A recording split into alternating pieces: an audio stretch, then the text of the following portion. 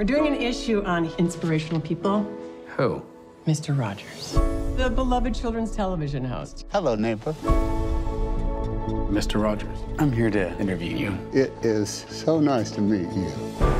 This piece will be for an issue about heroes. Do you consider yourself a hero? No, not at all. On our program, I tried to look through the camera into the eyes of a single child. I just don't know if he's for real. Lloyd, please don't ruin my childhood. All these people line up to tell you their problems. That would be an incredible burden on you. Sometimes we have to ask for help, and that's okay. You love broken people like me. I don't think you were broken.